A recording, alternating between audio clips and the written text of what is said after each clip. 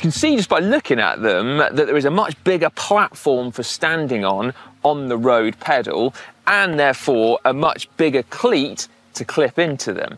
The reason for that is to get a really secure connection to the pedal for maximum power transfer and with no rocking.